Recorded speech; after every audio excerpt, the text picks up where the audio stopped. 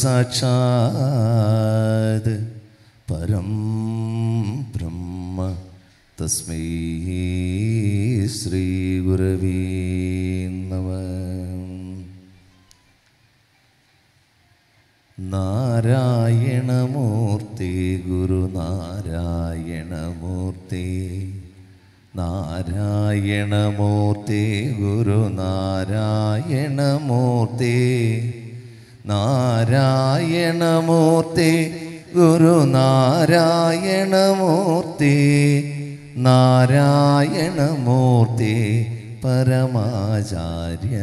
നമസ്തേ.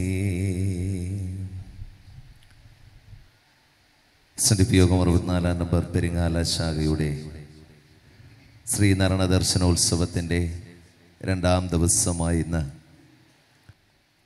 ഇന്നിവിടെ നമുക്ക് വിഷയമായിട്ടിരിക്കുന്നത് ഗുരുസ്തവത്തിലെ ഗുരു എന്നുള്ളതാണ്. ചരിത്ര സംഭവങ്ങളുടെ നിരവധിയായ ശതാബ്ദി ആഘോഷങ്ങൾ നടക്കുമ്പോൾ അതിലൊരു പ്രധാനപ്പെട്ട ഒരു ചടങ്ങ് അതൊരു ആഘോഷമല്ല നമ്മൾ ആചരിക്കുന്നതാണ്. മറ്റൊന്നുമല്ല മഹാകവി കുമാരനാശാന്റെ നൂറാമത് ചരമവാർഷിക ദിനാചരണം. വിവിധങ്ങളായ പരിപാടികളോടുകൂടി തന്നെയാണത് ആചരിക്കുന്നത്. കാരണം ആ പൂർവകാല സുഹൃതിയുടെ സ്മരണകൾ നമ്മുടെ മനസ്സിൽ നിന്നൊരിക്കലും വിട്ടുമാറില്ല. നാം ഗുരുവിനെ അറിയുന്നുവെങ്കിൽ ഗുരുവിനെക്കുറിച്ച് നാം ദിനവും പ്രാർത്ഥിക്കുന്നുവെങ്കിൽ ഗുരുവിനെ ഈശ്വരനായി കരുതുന്നു എങ്കിൽ നമുക്ക് നേരാം വഴി കാട്ടുന്ന ഗുരുവാണ് പരമമായ ദൈവമെന്ന് നാം നിത്യവും ചൊല്ലുന്ന പ്രാർത്ഥനയിൽ ഉൾക്കൊണ്ടിരിക്കുന്നത് മഹാകവിയായ നമ്മുടെ മനസ്സിലെ കുമാരനാശാന്റെ അറിവും ആ മനസ്സുമാണ്. അപ്പോൾ കുമാരനാശാന്റെ മനസ്സ് ഇതര കൃതികളിലൂടെ കവിതകളിലൂടെയൊക്കെ ഇങ്ങനെ നമ്മുടെ മുന്നിലേക്ക് പകർന്നു നൽകിയിരിക്കുകയാണ്. നാം അറിയാതെ ദിവസവും നമ്മൾ കുമാരനാശാനെ സ്മരിക്കുന്നു എന്നതാണ് യാഥാർത്ഥ്യം. അതുകൊണ്ടാണ് ഇന്നലെ ഇവിടെ ദീപം തെളിച്ചപ്പോൾ ദീപാർപ്പണം ചൊല്ലണമെന്ന് ഇവിടെ സെക്രട്ടറി പറഞ്ഞു. പക്ഷെ ആരും ചൊല്ലിയില്ല. അപ്പം ഞാൻ ഓർത്തു കുമാരനാശാനെ സ്മരിക്കാതെയാണല്ലോ തുടങ്ങിയതെന്ന് ഞാൻ അസമയത്ത് സമയത്ത് ഓർത്തു. നമ്മൾ ദീപാർപ്പണം ചൊല്ലാറുണ്ടല്ലേ? അല്ലേ അങ്ങനെ പറഞ്ഞാൽ അറിയുമോ ആ അറിയാം അല്ലേ? എന്താണത്? അഭാവബന്ധമൊടു സത്യരൂപനാം.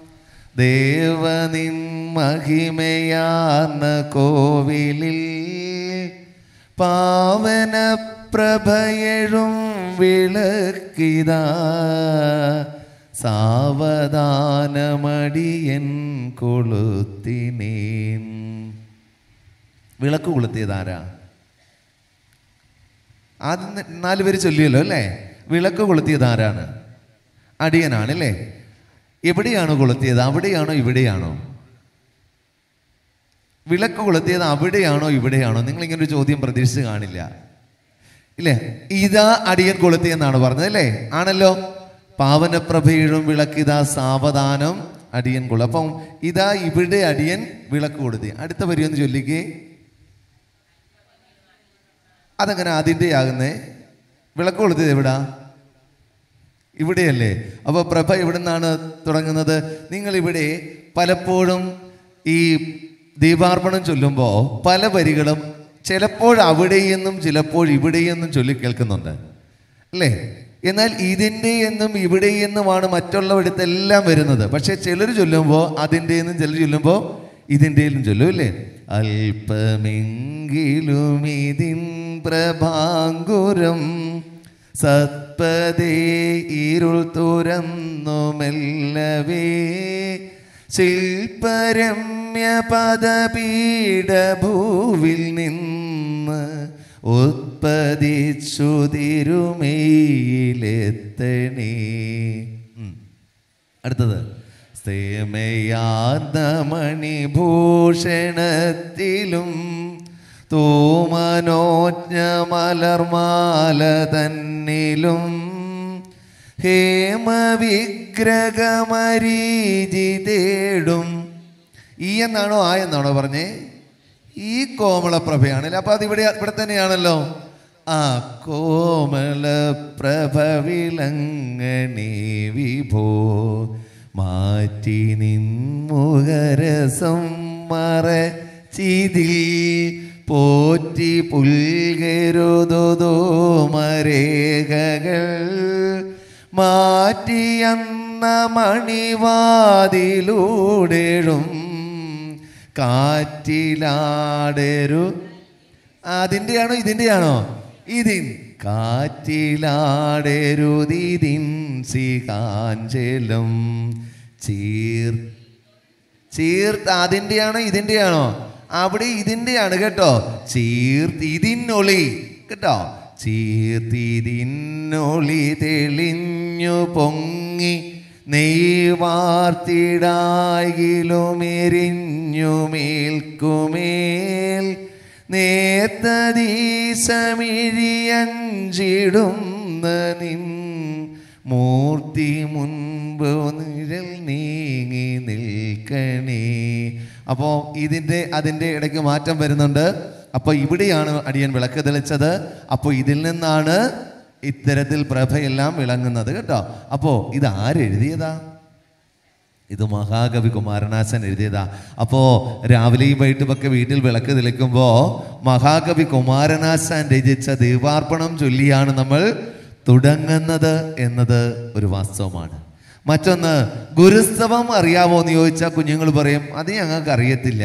നാരായണമൂർത്തി അറിയാവോ? അത് ഞങ്ങൾക്ക് അറിയാമെന്ന് പറയല്ലേ അപ്പോൾ ഈ നാരായണമൂർത്തി നമ്മൾ ഇല്ലേ ദിന ദൈനംദിനമായി പ്രാർത്ഥനയിൽ ചൊല്ലുന്നതാണ്. ആ നാരായണമൂർത്തിയെ ചൊല്ലുമ്പോൾ അത് രചിച്ചതാരാ? മഹാകവി കുമാരനാശാൻ രചിച്ചതാണ് എന്ത്? ഈയിടെ ഞാൻ ചോദിച്ചപ്പോൾ ഒരാൾ ഗുരുദേവൻ രചിച്ചതാന്ന് പറഞ്ഞു. അപ്പം ചോദിച്ചു ഞാൻ അപ്പോഴാണ് ചോദിച്ചത്. അങ്ങനെയാണെങ്കിൽ അതിലെ ഗുരു ആരാന്ന് ചോദിച്ചത് അപ്പോഴാണ്. അതിലെ ഗുരു ആരാണ്? അതിൽ ദൈവമെന്ന് പറഞ്ഞിരിക്കുന്നത് ആരെയാണ്? അപ്പോഴാണ് ചോദിച്ചത്. ശരിയാണല്ലോ അപ്പോൾ ഇത് ഗുരു രചിച്ചതല്ല ഇല്ലേ? ഞാൻ പറഞ്ഞല്ല. ആരെ രചിച്ചതാ? ശ്രീനാരായണ ഗുരുദേവൻ. ആ ദേവന്റെ ഷഷ്ടപ്രപൂർത്തി ആഘോഷം അല്ലേ ആ സമയത്ത് കുമാരനാശാൻ രചിച്ചത് അതിൽ മറ്റു നാല് വരികൾ കൂടി ഉണ്ടായിരുന്നു. അങ്ങേക്ക് ആയുസ് നേർന്നുകൊണ്ടുള്ള നാല് വരികളോടെ ഉണ്ടായിരുന്നു. ആ വരികൾ നമ്മൾ മാറ്റിയതാണ്. അപ്പോൾ ഓർക്കുക നമ്മൾ ദിനവും ചൊല്ലുന്ന ആ ഗുരുസ്തവം മഹാകവി കുമാരനാശാൻ രചിച്ചതാണ്. അപ്പോൾ ഗുരുസ്തവത്തിലേക്ക് കടക്കുന്നതിന് മുൻപ് ഇത് രചിച്ച ആ മഹാകവിയെക്കുറിച്ച് രണ്ടു വാക്ക് പറയാതിരിക്കാൻ നിർവാഹമില്ല. കാരണം ഗുരുവിനെ കുറിച്ച് ഒരു കീർത്തനം എഴുതുക മാത്രം ചെയ്ത ഒരാളല്ല ആര്? മഹാകവി കുമാരനാശാൻ. നമുക്കറിയാവുന്നത് ആ മഹാകാവ്യം എഴുതാതെ മഹാകവിയായ മഹാകവി കുമാരനാശാൻ ഇത്ര മാത്രമേ നമുക്കറിയൂ.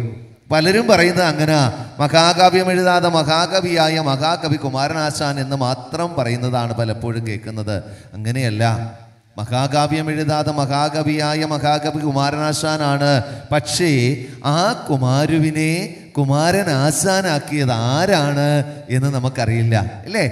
അപ്പോൾ ഓർക്കുക തന്റെ പ്രഥമ വിദ്യാഭ്യാസമൊക്കെ കഴിഞ്ഞ് എന്നാണോ ഗുരുവിനോട് സംഗമിക്കുന്നത്? അതിനുശേഷമാണ് ഗുരുവിന്റെ കുമാരു ഗുരുവിന്റെ ചിന്നസ്വാമി ആരായി മാറിയത്? കുമാരൻ ആശാനായി മാറിയത്. ശൃംഗാര കാവ്യങ്ങളിൽ അല്ലേ അതീവമായി ശ്രദ്ധ ചെലുത്തിക്കൊണ്ട് ഏറ്റവും കൂടുതൽ ശൃംഗാര കാവ്യങ്ങളായിരുന്നു ആര് രചിച്ചത്? കുമാരനാശാൻ രചിച്ചത്. പക്ഷേ അതിനൊക്കെ മാറ്റം വരുത്തിക്കൊണ്ട് അല്ലേ നമുക്ക് ആധ്യാത്മികമായും അതുപോലെ തന്നെ ഒരു മനുഷ്യന്റെ ഈ മനസ്സിലെ അവസ്ഥകളെയൊക്കെ മാറ്റുമാറ്. ഒരു മനുഷ്യനെ ഏറ്റവും കൂടുതൽ ആകർഷിച്ചുകൊണ്ട് നിരവധിയായ കവിതകളും കൃതികളുമൊക്കെ ആര് രചിച്ചു? ഇല്ലേ കുമാരനാശാൻ രചിച്ച എന്തെങ്കിലും വേറെ കൃതികളെ കുറിച്ച് അറിയാവോ? ചണ്ടാല ഭിക്ഷിക കരുണ. ആ വീണപോവ ആ വേറെ വേറെ വേറെ എന്തെങ്കിലും വേറെ ഇങ്ങോട്ട് പോരട്ടെ. ആധ്യാത്മികമായി നിങ്ങളുടെ അറിവിലുള്ള ഏതെങ്കിലും കൃതികൾ. ആ ആരാണ്ട് പറഞ്ഞു? ഗുരുപാദ ദശകം. ഇല്ലേ? ഗുരുപാദ ദശകം എഴുതിയതാരാ? കുമാരനാശാനാണ് അല്ലേ അതും കൂടെ ഒന്ന് വായിക്കുന്നത് നല്ലതാണ് കേട്ടോ. അപ്പോ കുമാരനാശാൻ ശ്രീനാരായണ ഗുരുവിനെ എങ്ങനെയാണ് കണ്ടത് എങ്ങനെയാണ് അറിഞ്ഞത് എന്നറിയുമ്പോഴാണ് നാം ഗുരുവിനെ എങ്ങനെയാണ് കാണുന്നതെന്ന ഒരു ബോധം നമുക്ക് ഉണ്ടാവുന്നത്. നമുക്കിപ്പോഴും ഒരു ഭാവവും രൂപവും ഒക്കെയുള്ള മഞ്ഞ തുണി പുതച്ച ഒരു അപ്പൂപ്പനായിട്ടാണ് ചിലരും ഇപ്പോഴും കണ്ടുവെക്കുന്നത്. നമുക്ക് പൂജിക്കാൻ വേണ്ടി ഒരു രൂപം വേണം. ഇത് മാത്രമാണ് ഇപ്പോഴും പലരുടെയും മനസ്സിൽ ശ്രീനാരായണ ഗുരുദേവൻ. അതല്ല ഗുരു ഗുരുവിനെ അറിയേണ്ടത് അറിവിലൂടെയാണ്. ഗുരുവിനെ അറിയേണ്ടത് അറിവിലൂടെയാണെന്ന് പറയുമ്പോൾ അവിടെയാണ് ഇന്നലെ ഞാൻ പറഞ്ഞ ഗുരുവിന്റെ വചനം നാം ശരീരമല്ല അറിവാകുന്നു. അറിവായ ഗുരുവിനെ അറിയുമ്പോഴാണ് നാം യഥാർത്ഥത്തിൽ ആരായി മാറുന്നത്? അറിവായി മാറുന്നത്. നിത്യസത്യമായ അറിവിന്റെ പൊരുളായി നാം മാറുന്നത് അപ്പോൾ മാത്രമാണ്. അത് പലപ്പോഴും നാം ചിന്തിക്കാറില്ല എന്നതാണ് സത്യം. കാരണം അന്ധമായ വിശ്വാസങ്ങളും അനാചാരങ്ങളും കൊടുകുത്തി പാടിരുന്ന കാലഘട്ടത്തിൽ പൂർവികരായിരുന്നവർ നമുക്ക് ജന്മം നൽകി. അതല്ലേ സത്യം? അന്ധവി ഇന്നിപ്പോൾ ഇവിടെ ഇരിക്കുന്നവര് ഇല്ലേ? നൂറ് വയസ്സ് കഴിഞ്ഞവരാരും ഇവിടെ ഉണ്ടെന്ന് തോന്നുന്നില്ല. അപ്പോ എന്തായാലും ആയിരത്തി തൊള്ളായിരത്തി നാൽപ്പത്തി ഏഴിന് മുമ്പ് ജനിച്ചവരാരെങ്കിലും ഉണ്ടോ ഒന്ന് കൈപൊക്കാമോ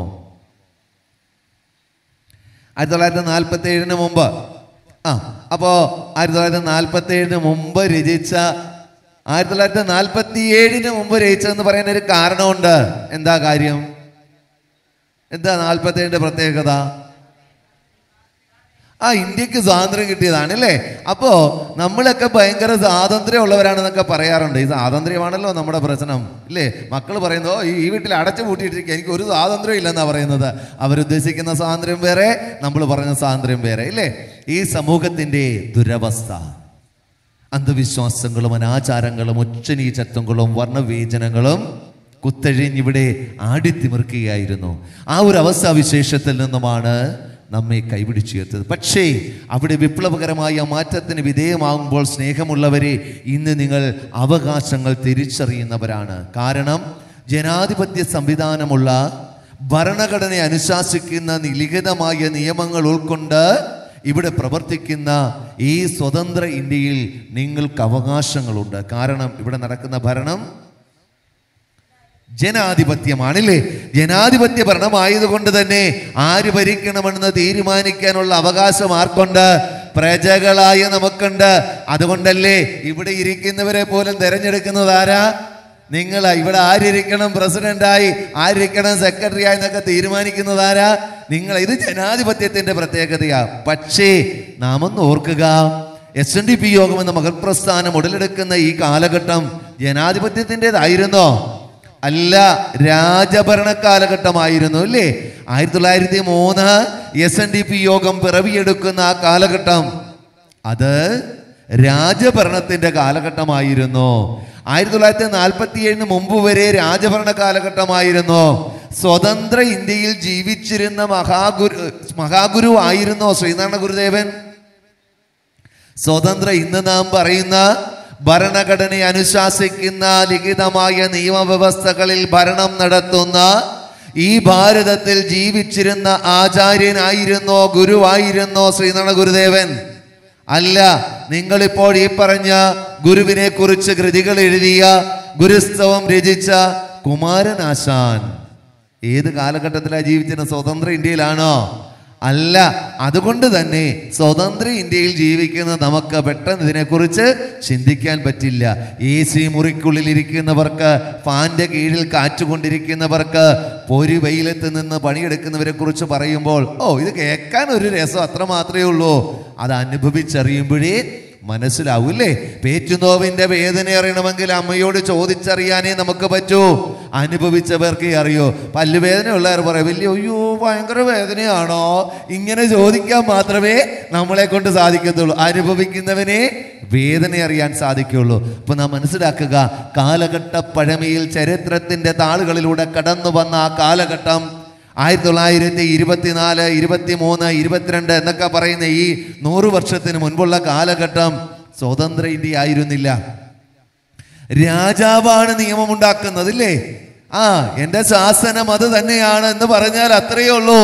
ഞാൻ കൽപ്പിക്കുന്നത് ഇവിടെ നടക്കൂ. അങ്ങനെ ദിവാൻമാർ ഭരിച്ചിരുന്ന കാലഘട്ടത്തിൽ അവരുടെ വാമൊഴിയായി പ്രഖ്യാപിക്കുന്നത് എന്തും നടപ്പിലാക്കുവാൻ സ്വാതന്ത്ര്യം അവർക്കുണ്ടായിരുന്ന കാലഘട്ടം. ഇത് കേട്ട് വഴിമാറുവാനോ കേൾക്കാതിരുന്നാൽ തല കൊയ്യുവാനോ വിധിക്കപ്പെട്ടിരുന്ന കാലഘട്ടം അവിടെയാണ് ഇന്നിവിടെ ഇരിക്കുന്ന നമ്മളുടെ ചങ്കൂറ്റമില്ലായ്മയെ കുറിച്ച് സ്വയം ഒന്ന് ചിന്തിക്കേണ്ടത്. ഇത് പറയുമ്പോൾ വിഷമാണോ? ജനാധിപത്യ ഭരണമുള്ള നാം തിരഞ്ഞെടുക്കുന്ന നേതാക്കൾ ഭരിക്കുന്ന ഈ ഒരു കാലഘട്ടത്തിൽ പോലും നമുക്ക് ഇവിടെ ഇന്ന് തുറന്നു പറയാൻ മടിയാ അപ്പൊ ഇവിടെ നമ്മെ സംബന്ധിച്ച് ഈ ഒരു കാലഘട്ടത്തിൽ പോലും തുറന്നു പറയുവാൻ തെറ്റുകൾ ഏറ്റു പറയുവാൻ അല്ലെങ്കിൽ കാണുന്നത് പറയുവാൻ ഇവിടെ നടക്കുന്ന ദുരവസ്ഥയെക്കുറിച്ച് വിളിച്ചു പറയുവാൻ മടിയാ. കാരണം എന്താ? കാരണം എന്താ? നിയമവ്യവസ്ഥകൾ അറിയാത്ത കൊണ്ടാ ഇന്ന് നിങ്ങൾ തന്റെ അടുത്തോടൊരു പോലീസ് സ്റ്റേഷനിൽ കയറി ചെല്ലും. പോലീസുകാരൻ ചീത്ത വിളിക്കുമ്പോൾ വേണ്ട സാറേ ഇങ്ങോട്ട് വേണ്ട എന്ന് പറയും. ശരിയാണോ? ഒരു വില്ലേജ് ഓഫീസിൽ കൊണ്ടൊരു അപേക്ഷ കൊടുക്കും. രണ്ടു ദിവസം താമസിച്ച വിവരാകാശം വെച്ച് അങ്ങോട്ടൊരെണ്ണം കൊടുക്കും ഇല്ലേ ശരിയാണോ? ഒരു സ്ത്രീയെ കയറി അനാവശ്യമായി ചീത്ത വിളിച്ചാൽ നോക്കിയിരിക്കുവോ? വേണ്ട ഭർത്താവ് ഒന്ന് കൈവച്ചാൽ നോക്കിയിരിക്കുവോ? വകുപ്പ് മാറി ചേട്ടാ ഫോർ നയന്റി എയ്റ്റ് എ വകുപ്പാന്ന് പറയില്ലേ? അപ്പൊ ഇന്ന് ഇങ്ങനെയുള്ള സാന്ദ്രമൊക്കെ ഉണ്ട് പണ്ടോ? അടിച്ചാൽ ആ കൂട്ടത്തിൽ കിടക്കട്ടെ എന്ന് വിചാരിക്കത്തേ ഉള്ളൂ ഇല്ലേ? രാജാവ് കൽപ്പിക്കുന്ന പോലെ തമ്പ്രാന്റെ മൊഴി കേട്ട് ജീവിച്ചിരിക്കുന്ന ഒരു കാലഘട്ടമുണ്ടായിരുന്നു ആ കാലഘട്ടത്തിൽ നിങ്ങൾ ഓർക്കണം തന്റെ തൂലിക തുമ്പ് ചലിപ്പിച്ചുകൊണ്ട് ധൈര്യം സംഭരിച്ചുകൊണ്ട് ഈ സമൂഹത്തെ ദുരവസ്ഥയ്ക്കെഴുതെ വിപ്ലവം കുറിച്ച ഒരു കുമാരനാശാനെ നിങ്ങൾ അറിയണം. വഴിമാറി നടക്കേണ്ട കാലഘട്ടം ഹോയ് ഹോയ് വെച്ചാൽ മാറി നടക്കേണ്ട കാലഘട്ടം. ആ കാലഘട്ടത്തിലാണ് തമ്പുരാക്കന്മാരുടെ രാജഭരണ കാലഘട്ടത്തിലെ ദുരവസ്ഥകളെ വർണിച്ച മഹാകവി കുമാരനാശാൻ ജാതിക്കോമരങ്ങൾ കൂത്താടിയതിനെ കുറിച്ച് വ്യക്തമായി എഴുതി വെച്ച കുമാരനാശാൻ സമൂഹത്തിൽ നടമാടിയ മാപ്പിള ലഹളകൾ മുതൽ ഇങ്ങോട്ടുള്ള നൂറുകണക്കിന് നമ്മുടെ ആത്മസഹോദരങ്ങളെ കൊന്നൊടുക്കിയ കാഴ്ചകൾ കണ്ട് കരളിൽ വേദനയുണ്ടായ കുമാരനാശാൻ സമൂഹത്തിലെ ദുരവസ്ഥകളെ വർണിച്ചു. ജാതിഭേദങ്ങളും ബുദ്ധിപ്രഭകളും സ്നേഹമൊലിക്കും ഉറവകളും ആകന്ത എത്ര വിഫലമാക്കി തീർത്തു. നീ ഹിന്ദു ധർമ്മമേ ജാതി മൂലം. ദുരവസ്ഥ എന്ന ഒരു കൃതി രചിച്ചുകൊണ്ട് കുമാരനാശാൻ എഴുതി വെച്ചതാണ്. ഓർക്കണം ഞാൻ കുമാരനാശാനെ കുറിച്ച് പറയുന്നത് കുമാരനാശാന്റെ ഇത്തരത്തിലുള്ള ആ ഒരു അവസ്ഥാവിശേഷം ഉണ്ടായിരുന്ന കാലഘട്ടത്തിൽ മഹാഗുരുവിനെ ഇത്തരത്തിൽ വർണിച്ചൊരു കൃതി എഴുതണമെങ്കിൽ ആ മനസ്സിന്റെ അറിവെന്താണെന്ന് തിരിച്ചറിയണം.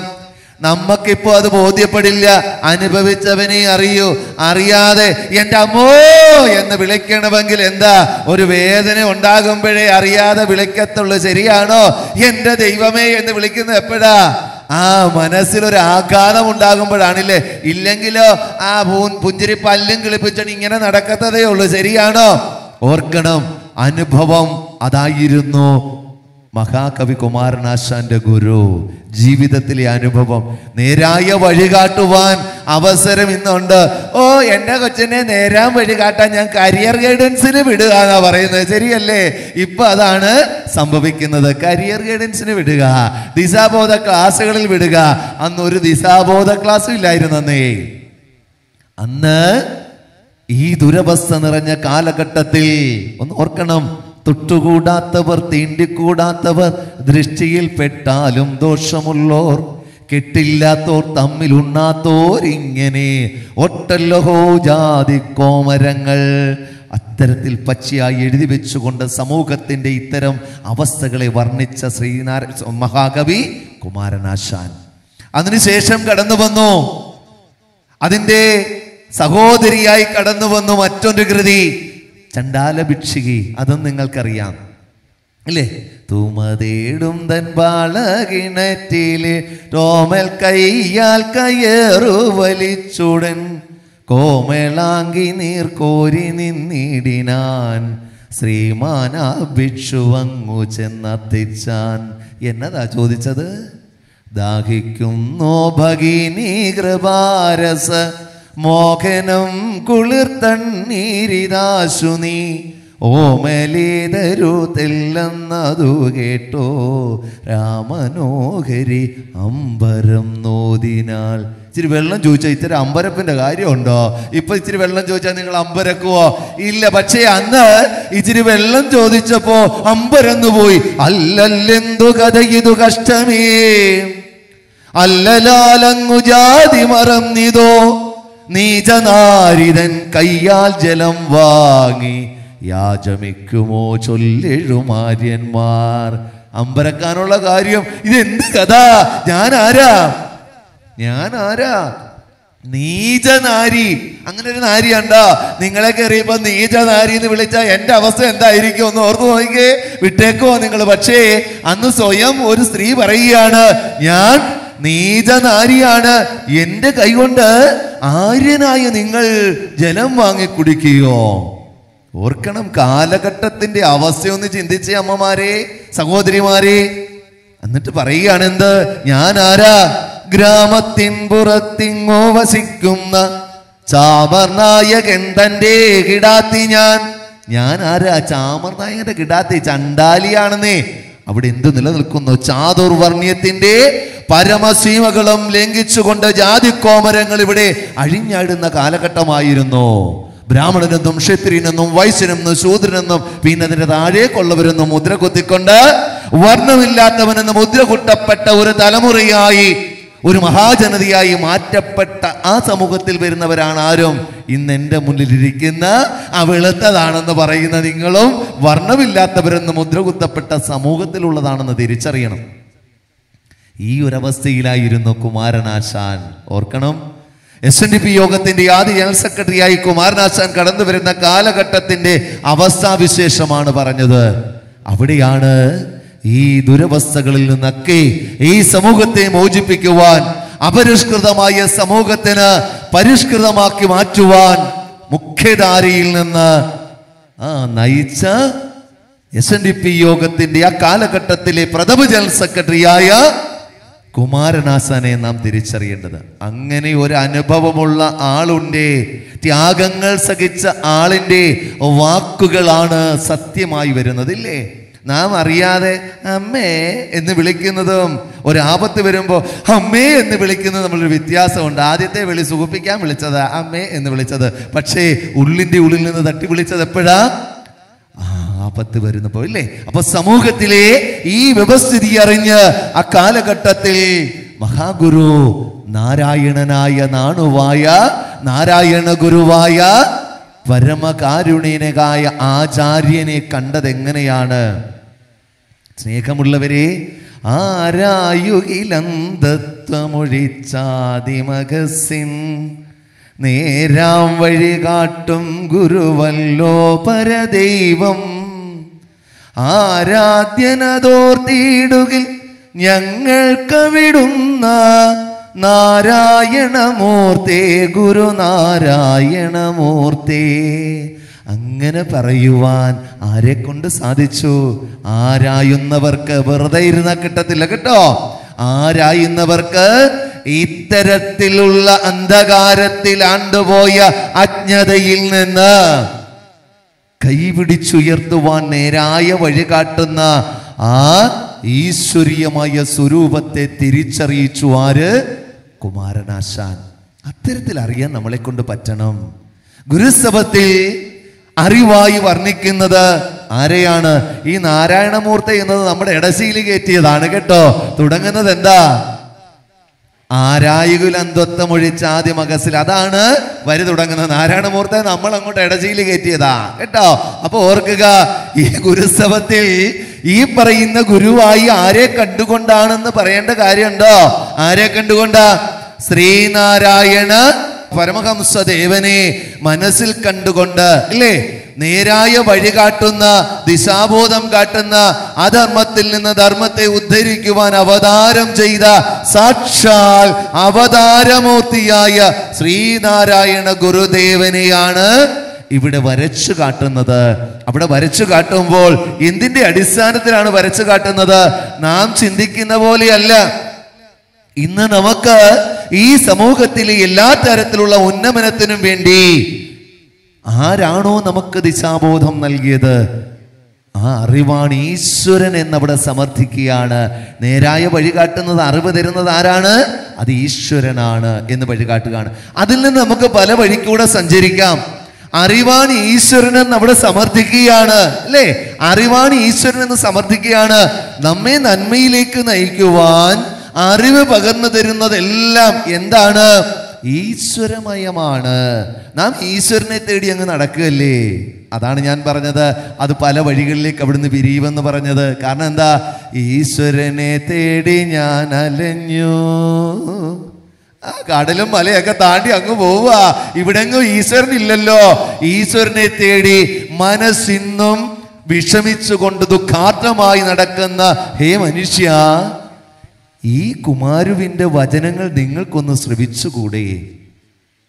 അതിലൂടെ കുമാരനാശാൻ നമുക്ക് വരച്ചു കാട്ടുന്ന ഈശ്വരനെ ഒന്ന് കണ്ടുകൂടെ? തന്റെ ജീവിതം ഇത്തരത്തിൽ സുന്ദരമാക്കിയ മുഹൂർത്തങ്ങൾ കുമാരനാശാൻ വർണിക്കുന്നുണ്ട്.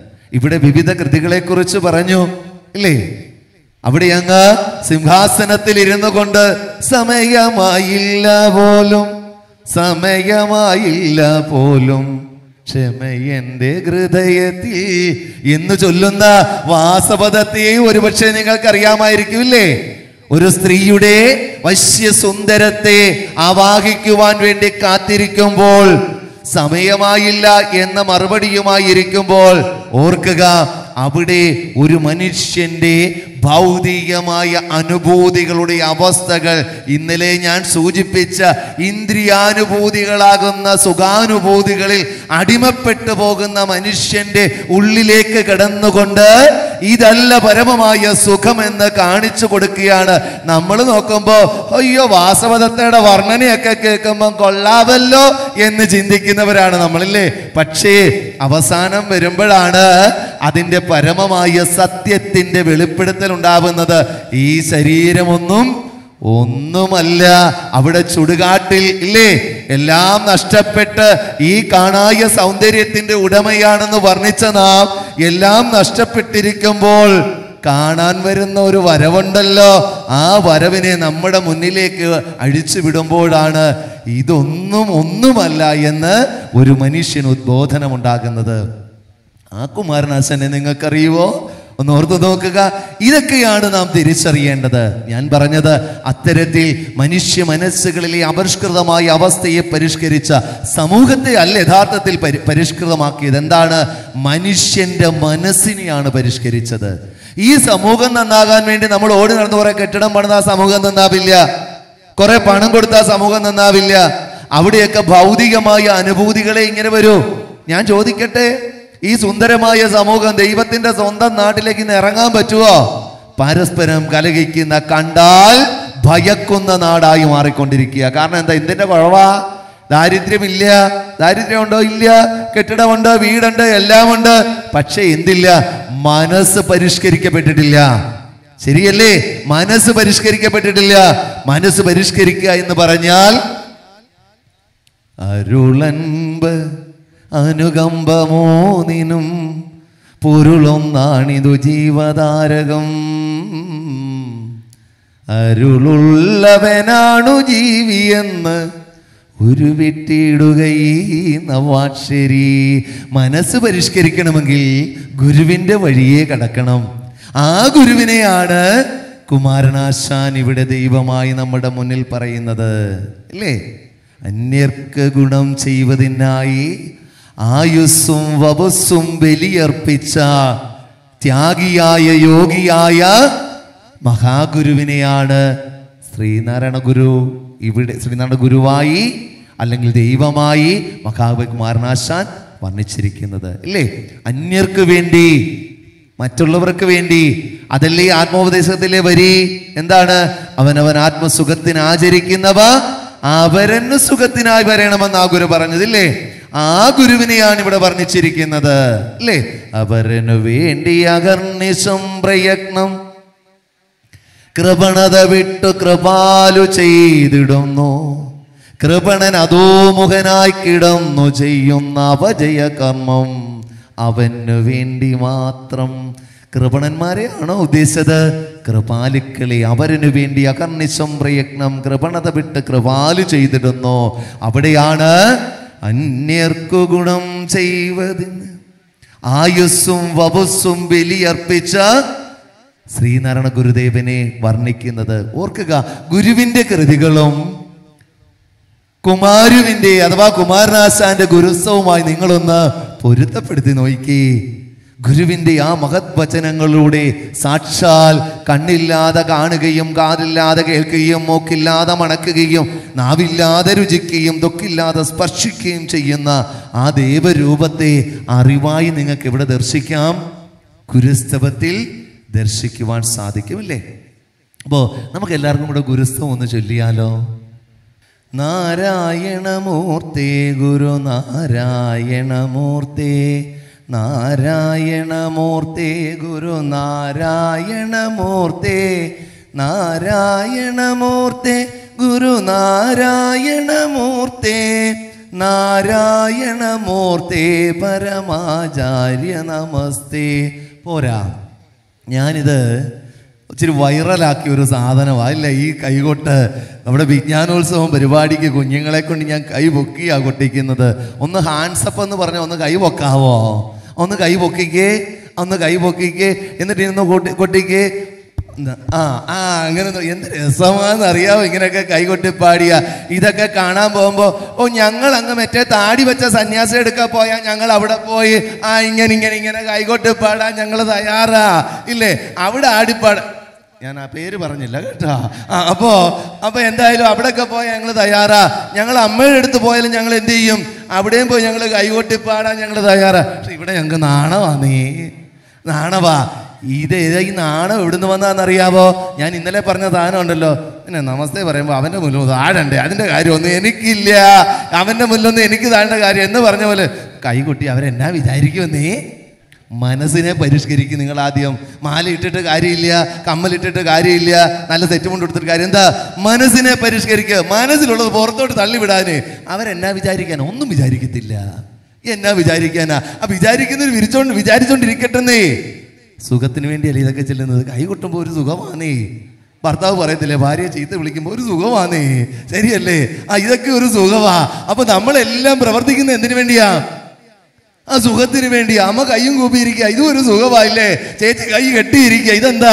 അതും ഒരു സുഖവാ ഒരാൾ കണ്ണടച്ച് ചാരി ഇരിക്കുക അതും എന്താ? ആ ഒരു സുഖവാ അപ്പൊ നമ്മളൊക്കെ പ്രവർത്തിക്കുന്ന എന്തിനു വേണ്ടിയാ? ഒരു സുഖത്തിന് വേണ്ടി. കൈ കൊട്ടുന്നത് ഒരു സുഖം ഉറക്കം മാറി കിട്ടും കേട്ടോ. കാരണം എന്താ? അക്യുപഞ്ചർ തെറാപ്പി പോലെ നമ്മുടെ കൈയുടെ വെള്ളം ഇങ്ങനെ കൂട്ടിയിടിക്കുമ്പോൾ ഒരു ഉന്മേഷം നമുക്ക് കിട്ടുകയാണ് കേട്ടോ. അപ്പൊ കൈ കൊട്ടാവല്ലോ ആ നാരായണമൂർത്തി ഗുരു നാരായണമൂർത്തി നാരായണമൂർത്തി ഗുരു നാരായണമൂർത്തി നാരായണമൂർത്തി ഗുരു നാരായണമൂർത്തി നാരായണമൂർത്തി പരമാചാര്യ നമസ്തേ. ആരായുകിലന്തത്വമൊഴിച്ചാതിമകസിൻ നേരാം വഴി കാട്ടും. ആരാധ്യനതോർത്തിയിടുകിൽ ഞങ്ങൾ കവിടുന്ന നാരായണമൂർത്തേ ഗുരു നാരായണമൂർത്തേ അൻപാർന്നവരുണ്ടോ?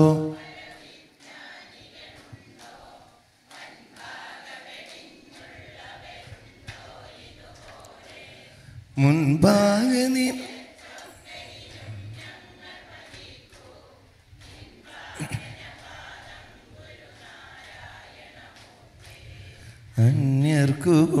ഗുണം ചെയ്വതിനായോ സുവപുസ്സും ധന്യത്വമൊടങ്ങാത്മതപസ്സും ബലി ചെയ്വോ?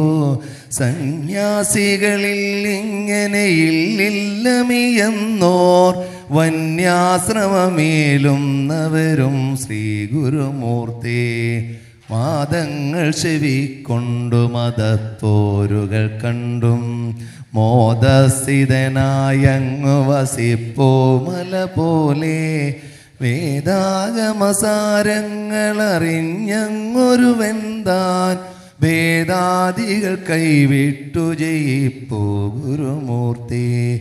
മോഹാകുലരാം ഞങ്ങളെ അങ്ങേടെ അടിപ്പോ. സ്നേഹാത്മകമാം ഭാഷമതിൽ കെട്ടിയിഴപ്പോ.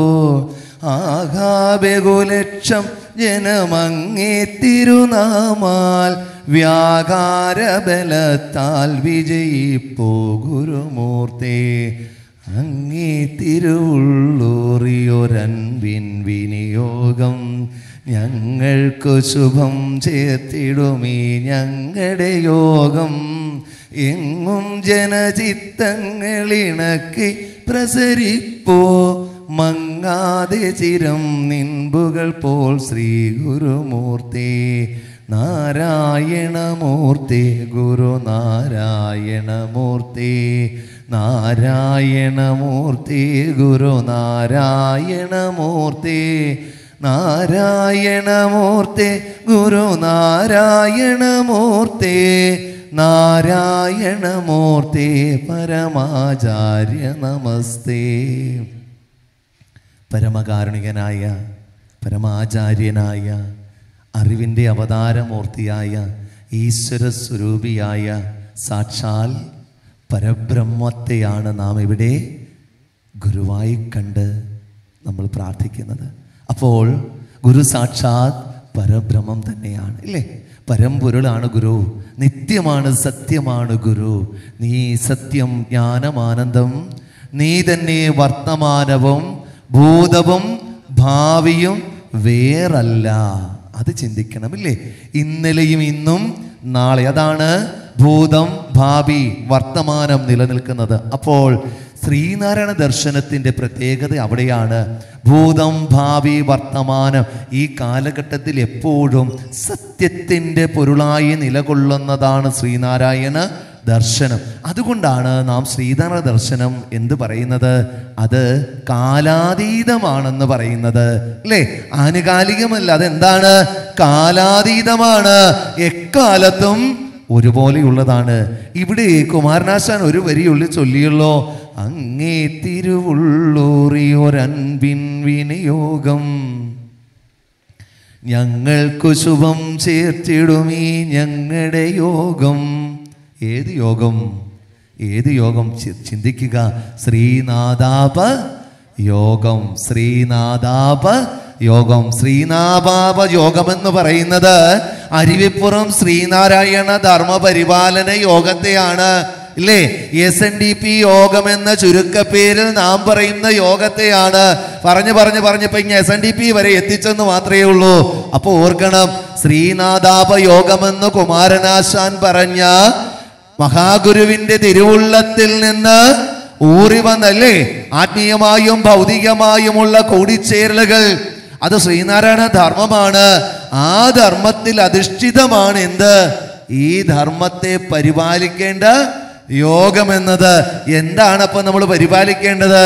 മഹാകവി കുമാരനാശാൻ ഇവിടെ അരുൾ ചെയ്ത ആ യോഗീശ്വരനായ ആചാര്യനായ ദൈവമായ പരബ്രഹ്മ സ്വരൂപമായ ആ ഗുരുവിന്റെ തിരുവുള്ളത്തിൽ നിന്ന് ഇല്ലേ ഊറി വന്ന അൻപിന്റെ ദൈയുടെ കാരുണ്യത്തിന്റെ ആ കടലാകുന്ന സമുദ്രമാകുന്ന ആ ആഴി ദൈവദശകത്തിലെ ആഴി ഇല്ലേ ആ ആഴിയിൽ ജാതിഭേദ വ്യത്യാസമില്ലാതെ മതവർഗ വർണ വ്യത്യാസമില്ലാതെ നാം ഒന്നായി തീരണമെന്ന അദ്വൈതദർശിയായ മഹാഗുരുവിനെയാണ് ഈ കുമാരനാശാൻ ഇവിടെ ഗുരുസ്തവത്തിലൂടെ സൂചിപ്പിക്കുന്നത്.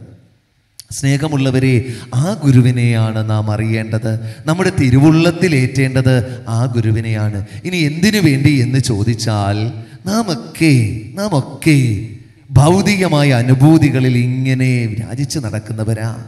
കാമക്രോധ മോഹമത മത്സരിയുടെ ഭാതികളാൽ നാമൊക്കെ അടിമപ്പെട്ടിരിക്കുക ശരിയല്ലേ?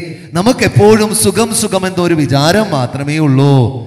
ഈ സുഖാനുഭൂതികളിൽ നിന്നൊക്കെ വ്യതിചലിച്ച് നാം മാറേണ്ടി വരുമ്പോൾ ഇത്തരത്തിലുള്ള കൃതികളെ കുറിച്ച് നാം ചിന്തിക്കാറുണ്ടോ? ഗുരുവിന്റെ അനുകമ്പാദശകത്തെ കുറിച്ചോ അതല്ലെങ്കിൽ കൊല്ലുന്നവനില്ല ശരണ്യത?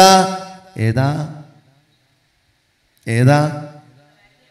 ജീവകാരുണ്യ പഞ്ചകം ഇല്ലേ ഒന്ന് ഓർത്തു നോക്കുക. നാം ചിന്തിച്ചിട്ടുണ്ടോ? അതിനെക്കുറിച്ച് പഠിച്ചിട്ടുണ്ടോ? ഇല്ലേ? ഒന്ന് ഓർത്തു നോക്കുക. ഒരമ്മയുടെ ഉദരത്തിൽ വളരുന്ന ഒരു കുഞ്ഞ്. കാണാതെ കേൾക്കാതെ നാം അറിയാതെ നിറമറിയാതെ ആണോ പെണ്ണോ എന്നറിയാതെ മാംസപിണ്ഡമായി ഉള്ളിൽ ഉള്ളിൽ അമ്മയുടെ ഗർഭാശയത്തിൽ വളരുന്ന ഒരു കുഞ്ഞിനെ എങ്ങനെ വളർത്തണമെന്നും അതെന്താണെന്നും. ഏതാണ് കൃതി? ആ പിണ്ടനന്ദി എന്ന കൃതി. അപ്പൊ അറിയാവുന്നവരൂടെ ഉണ്ട് അല്ലേ? പിണ്ടനന്ദി എന്ന കൃതിയിലൂടെ ഗുരു വർണിച്ചിരിക്കുക. ആ ഗുരുവിനെ നിങ്ങൾ അറിഞ്ഞിട്ടുണ്ടോ? ആരാണ് ഇപ്പോൾ ഈശ്വരൻ? നമ്മുടെ മനസ്സിലൊക്കെ ആ എന്തെങ്കിലുമൊക്കെ വാളും ചൂലും പരിചയം പാമ്പും ഒക്കെ ഇട്ടാലേ എന്താകൂ? ഈശ്വരനാകൂ. നാം ഇപ്പോഴും അങ്ങനെ അന്ധമായി വിശ്വസിച്ചു കൊണ്ടിരിക്കുക സ്നേഹമുള്ളവരെ ഈശ്വരൻ എന്നത് നിയന്ത്രിതാവാണ്. നമ്മെ നിയന്ത്രിക്കുന്നത് നമ്മളുടെ അറിവാണ് നമ്മെ നിയന്ത്രിക്കുന്നത്. ഇല്ലേ? ഈശാവാസ്യോപനിഷത്തിനകത്ത് ഈശാവാസ്യം ഇതം സർവം എന്ന് ഇവിടെ പറഞ്ഞിട്ടുണ്ട് മഹാഗുരു. ഉപനിഷത്തുകളിൽ ഏറ്റവും പ്രാധാന്യം കൊടുത്തുകൊണ്ട് നമുക്ക് ഗുരു പകർന്നു നൽകിയതാണ് എന്ത്? ഈശാവാസ്യോപനിഷത്തില്ലേ? ആ ഈശാവാസ്യോപനിഷത്ത് എന്താണെന്ന് പോലും നാം പഠിക്കുന്നില്ല. പഠിക്കുന്നില്ല. എന്നിട്ടോ നമുക്ക് വേണ്ടത് ഗുരുവിന്റെ ഒരു ഫോട്ടോ വെക്കുക അതിന്റെ മുന്നിൽ ഇച്ചിരി പൂവിടുക അതിന്റെ മുന്നിൽ ഇച്ചിരി ആരതി ഒഴിയുക ഇച്ചിരി ചന്ദനം തേക്കുക ഇച്ചിരി കുങ്കുമം തേക്കുക. പറ്റുന്ന ഇച്ചിരി കൽക്കണ്ടും മുതിരിങ്ങയും പഴവൂടുണ്ടെങ്കിൽ ആഹാ ഓഹോ ഇല്ലേ? ഈശ്വരനായി ഭക്തിയായി. ഇതാണോ ഭക്തി? അരുത് അരുത്. ഈശ്വരനെ അറിയണം. ഇവിടെ കുമാരനാശാൻ അറിഞ്ഞതുപോലെ ആ കുമാരനാശാൻ അറിഞ്ഞതുപോലെ നാം ഗുരുവിനെ അറിയണം. അങ്ങനെ അറിഞ്ഞു തുടങ്ങിയാൽ ഒന്ന് ഓർത്ത് നോക്കിക്കേ നാൽപ്പത്തിയേഴ് മുൻപ് ജനിച്ചവർ ഇവിടെ ഉണ്ടെന്ന് പറഞ്ഞു ഇല്ലേ? ഓർക്കുക അൻപത്തിയൊന്ന് വയസ്സിന് ശേഷം തന്റെ ജീവിതം പല്ലനിയുടെ അഗാധ ഗർത്തങ്ങളിൽ അണ്ടുപോയ മഹാകവി കുമാരനാശാന്റെ ആ പരിനിർമ്മാണത്തിന്റെ നൂറാമത് വാർഷികം കടന്നു പോകുമ്പോഴെങ്കിലും കുമാരനാശാൻ നമുക്കോതിയ ആ മന്ത്രധ്വനികളിലൂടെയെങ്കിലും നമുക്ക് തിരിച്ചറിയണ്ടേ? ഈ ആ ഗുരുവിന്റെ യാഥാർത്ഥ്യം. ഇവിടെ സൂചിപ്പിച്ചു സ്വാഗത പ്രസംഗത്തിൽ ഗുരുവിനെ അങ്ങ് ഇങ്ങ് എങ്ങ് അങ്ങ് പറഞ്ഞതിനെ പലതരത്തിൽ പറയുക. ചിലർ പറയും ഗുരു ആരാ? സാമൂഹ്യ പരിഷ്കർത്താവ്. ആണോ? ആണോ? അതെ സംശയം എന്താ? അതെ ഗുരു. ചിലർ പറയും ഗുരു നവോത്ഥാന നായകനാണ്. ആണോ? അതേനേ സംശയമൊന്നുമില്ല. അതെ അപ്പോ സംശയം ഇവിടെയാണ് അവസാനം ഗുരു ദൈവമാണോ? അവിടെയാണ് വലിയൊരു ചോദ്യം. ദൈവമാണോ? സാമൂഹിക ഉത്കർത്താവാണെന്ന് അവർ അംഗീകരിക്കും. നവോത്ഥാന നായകനാണെന്ന് അവർ അംഗീകരിക്കും. സന്യാസിയാണെന്ന് അവർ അംഗീകരിക്കും. ദൈവമാണോ? ഓ ഗുരു ദൈവമാണോ? ഈ ചോദിക്കുന്നവരോട് തിരിച്ചു ചോദിക്കണം. ആരാണ് ഈ ദൈവം? ഒന്ന് പറയട്ടെ. തിരിച്ചൊരു മറുപടി പറയട്ടെ. അപ്പോഴാണ് ഗുരു ഈ പറഞ്ഞ പോലെ മഹാകവിമാനാശാന്റെ വചനം ഗുരു മഹാകവി പറയുന്നു നേരാം വഴി കാട്ടും ഗുരുവല്ലോ പരദൈവം എന്ന് പറയുന്നു. ശരിയല്ലേ? ഇവിടെ ഈശാവാസ്യോപനിഷത്തിലും നമ്മൾ അറിവിനെ കുറിച്ച് വർണിക്കുന്നുണ്ട്. ഗുരു പറയുന്നു മഹാഗുരുവിന്റെ വചനത്തിൽ തന്നെ പറയുന്നു നാം ശരീരമല്ല അറിവാകുന്നു ശരീരം ഉണ്ടാകുന്നതിന് മുൻപും അറിവായ നാം ഉണ്ടായിരുന്നു ഇനി ഇതൊക്കെ ഇല്ലാതെ പോയാലും നാം ഇപ്രകാരം പ്രകാശിച്ചു കൊണ്ടേയിരിക്കും അപ്പോ ദൈവം എന്ത് നാം ദൈവമെന്ന് കാണുന്നത് ദൈവത്തെയല്ല ദേവരൂപങ്ങളെയാ. നിങ്ങളുടെ മനസ്സിലെല്ലാം ഇരിക്കുന്നത് നാമരൂപ വിശേഷണങ്ങളിലുള്ള സ്ഥൂല സൂക്ഷ്മ കാരണങ്ങളായ അവസ്ഥയിലുള്ള ഒരുപക്ഷെ ഇങ്ങനെ തന്നെ പറയാം പഞ്ച ഇന്ദ്രിയ അനുഭൂതിക്ക് വിധേയമായ ആ ദേവനെയാണ് നാം കണ്ടുകൊണ്ടിരിക്കുന്നത്. നമുക്കത് കണ്ടാൽ മതി. അത് കണ്ടില്ലേ? നമുക്ക് ഓർക്കാൻ വരില്ല. നിങ്ങൾ ഓർക്കേണ്ടത് അതൊക്കെ വിഗ്രഹങ്ങളാ. വിശേഷേണ ഗ്രാഹേതി ഇത് വിഗ്രഹ. വിശേഷേണ ഗ്രഹിക്കുവാനുള്ളതാണ് വിഗ്രഹങ്ങൾ. നിങ്ങൾ ഇവിടെ വന്നത് വിശേഷേണ ഗ്രഹിക്കുവാനാണ്. ആ രൂപം കാണുമ്പോൾ ആ രൂപത്തിന്റെ വിശേഷണങ്ങൾ നിങ്ങൾ പഠിക്കുകയാണ്. ആ വിശേഷണം ശ്രീനാരായണ ഗുരുദേവനെ കുറിച്ചുള്ള വിശേഷണം മഹാകവി കുമാരനാശാൻ വർണിക്കുന്നു. എന്തിലൂടെ? ഗുരുസ്തവത്തിലൂടെ വർണിക്കുകയാണ്. മനസ്സിലായോ? നിങ്ങൾക്ക് എങ്ങനെ വർണിക്കാൻ പറ്റും? കുമാരനാശാൻ ഇങ്ങനെ വർണിക്കാൻ പറ്റി? ഗുരുപാദ ദശകത്തിലൂടെ വർണിക്കാൻ പറ്റി? നിങ്ങൾക്കോ? നിങ്ങൾക്കോ? നിങ്ങൾ എന്തു പറയും? ഗുരു ആരെന്ന് ചോദിച്ചാൽ എന്ത് വർണിക്കും? അയ്യോ അപ്പുറത്തെ അമ്പലത്തിലും പോയി ഇപ്പുറത്തെ അമ്പലത്തിലും പോയി. അതാണോ ഗുരു? അല്ല ഗുരു സാക്ഷാത് പരബ്രഹ്മമാണ് ശിവലിംഗദാസ സ്വാമികൾ ഗുരുവിനെ വർണിച്ചു. അതിപ്പോൾ ഇവിടെ ചൊല്ലില്ലേ ഓം ബ്രഹ്മണി മൂർത്തിമതേ ശ്രുതാനാം ശുദ്ധിഹേതവേ നാരായണ യതീന്ദ്രായ തസ്മേ ശ്രീ ഗുരവേ നമ. യതീന്ദ്രനാണെന്ന പറഞ്ഞത് അല്ലേ? ഓർക്കുക അവിടെ ഗുരുവിനെ സാക്ഷാൽ പരബ്രഹ്മ സ്വരൂപമായി കണ്ടറിഞ്ഞ് സാക്ഷാൽ ആ ഓം ബ്രഹ്മണേ മൂർത്തിമതേ എന്നുള്ള ശിവലിംഗദാസ സ്വാമികളുടെ ആ കൃതികളുടെ ആദ്യാക്ഷരങ്ങൾ ചേർത്ത് വായിച്ചാൽ എന്ത് കിട്ടും? ഓം നമ ശിവായ.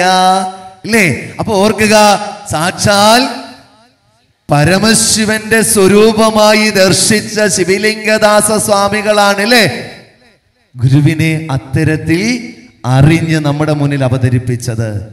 കുമാരനാശാൻ ഗൃഹസ്ഥ ശിഷ്യനായ മഹാകവി കുമാരനാശാൻ ഗുരുവിനെ അറിഞ്ഞതാണ് ഗുരുസ്തവത്തിലൂടെയും ഗുരുപാദശകത്തിലൂടെയും ഒക്കെ നമുക്ക് മുന്നിൽ പകർന്നു നൽകിയത്.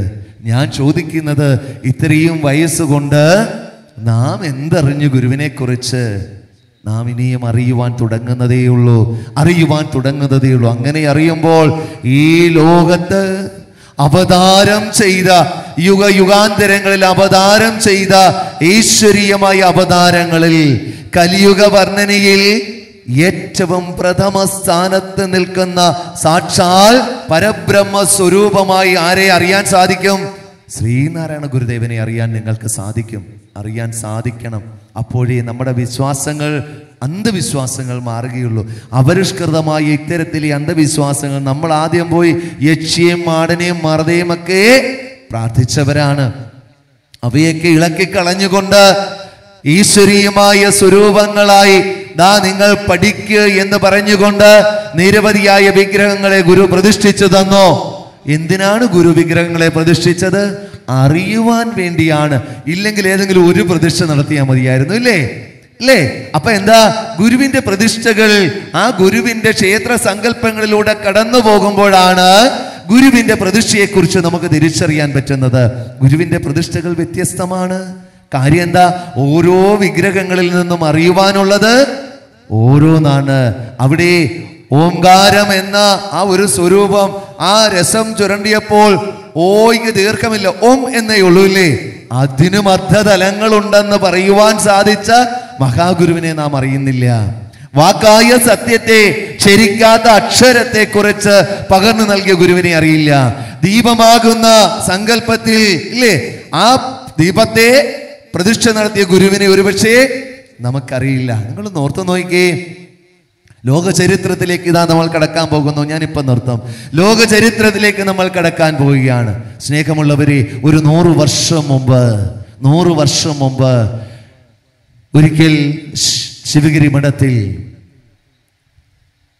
ആര്യന്മാർ സന്ദർശിച്ചു. ആര്യന്മാർ ആര്യന്മാർ അവിടെ സന്ദർശിച്ച സമയത്ത് ഗുരുവുമായി സംവദിച്ചു. ആ സംവാദം വേദതത്വങ്ങളെക്കുറിച്ചും വേദാന്തങ്ങളെക്കുറിച്ചുമൊക്കെ ആയിരുന്നു അങ്ങനെ സംവദിക്കവേ ഹോമത്തിന്റെ പ്രാധാന്യത്തെക്കുറിച്ച് ചർച്ച ചെയ്യുകയുണ്ടായി. യാഗം യജ്ഞം ഹോമം ഖമനം ഇല്ലേ ഇവയൊക്കെ നമുക്കറിയാം. പക്ഷെ ഇതൊക്കെ നമുക്ക് നിഷിദ്ധമായിരുന്നു.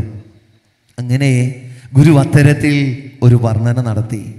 ഇവിടെയുള്ള സംവാദത്തിനൊടുവിൽ ഗുരു ചോദിച്ചു അവരോട് ഇവിടെ ഹോമം നടത്താമോ? അവർ സമ്മതിച്ചു. അങ്ങനെ ശിവഗിരി മഠത്തിൽ പുലർച്ചെ ഹോമം നടത്താൻ ആരംഭിക്കവേ ശ്രീനാരായണ ഗുരുദേവൻ ഒരു ചെറിയ തുണ്ട് കടലാസിൽ ഒരു ഹോമമന്ത്രം രചിച്ചു കൊടുത്തു. എന്നിട്ട് ചോദിച്ചു ഈ ഹോമം നടത്താമോ?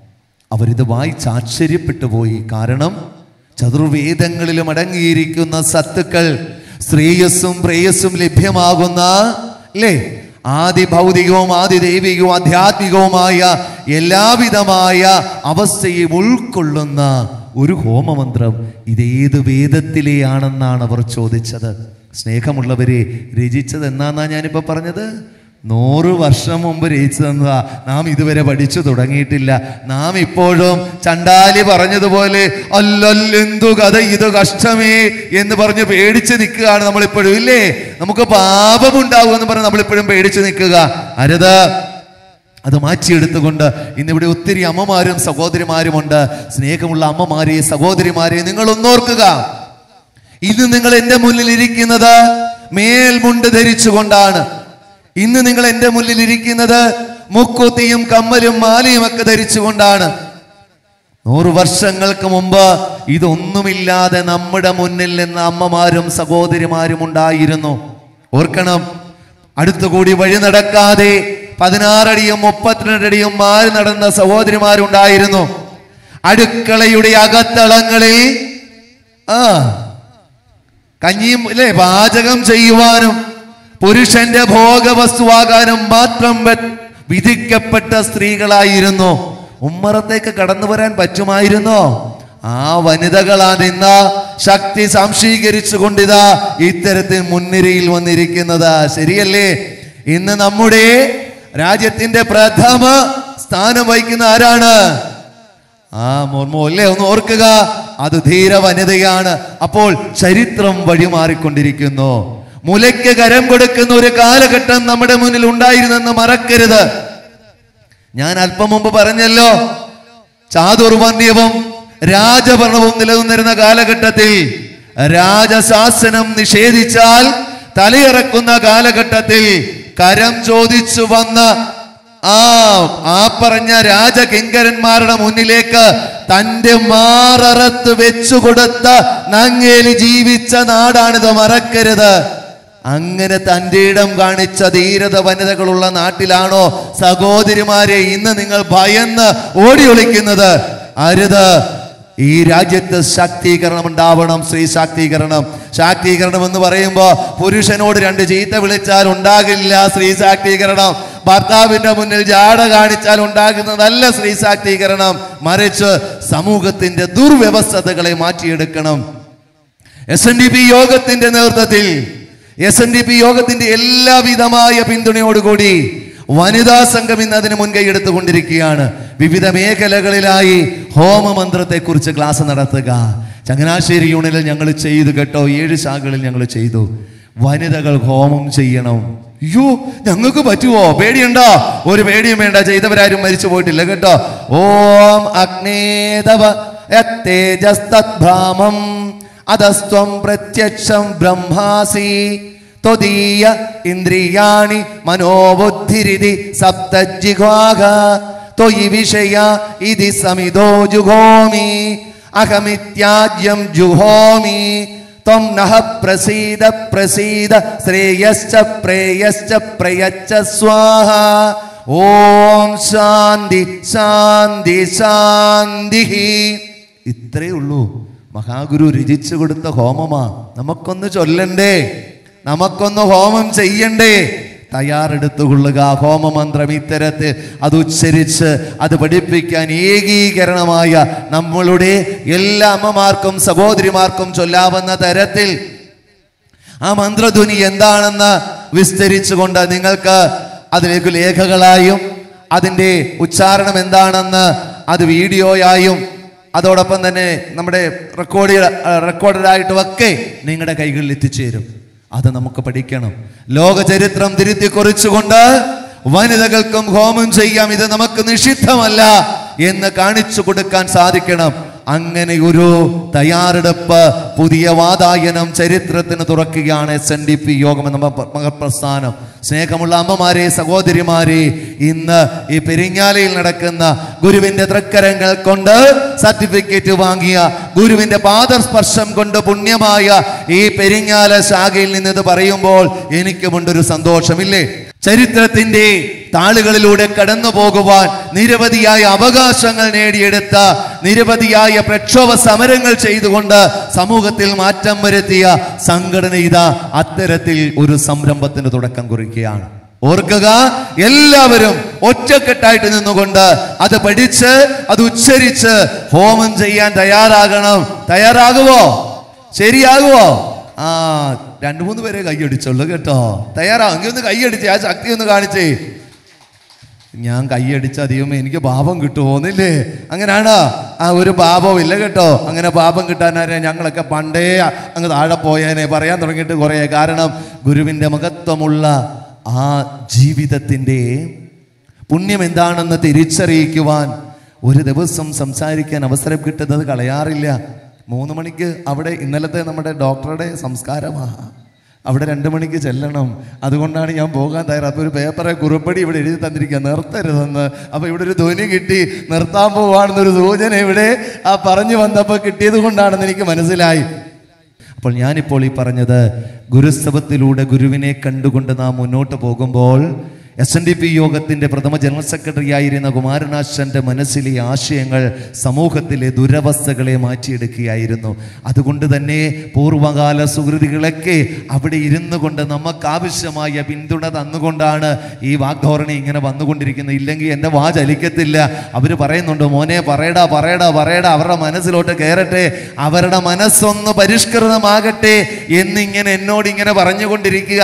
അതിനെ അതിനെ ഞാനിങ്ങനെ പറഞ്ഞുകൊണ്ടിരിക്കുക. അമ്മമാരെ സഹോദരിമാരെ മനസ്സു മാറണം നിങ്ങളുടെ. മനസ്സു മാറണം. മനസ്സിൽ നന്മയുണ്ടാകണം. മനസ്സിലെ അശാന്തി മാറ്റുക. മനസ്സിൽ ശാന്തി ഉണ്ടാക്കുക. മനസ്സിലെ തിന്മകളെ മാറ്റുക. മനസ്സിൽ വിദ്വേഷങ്ങളെ മാറ്റുക. മനസ്സിൽ ഇത്തരത്തിലുള്ള അപരിഷ്കൃതമായ ആചാരങ്ങളെ മാറ്റിയെടുക്കുക.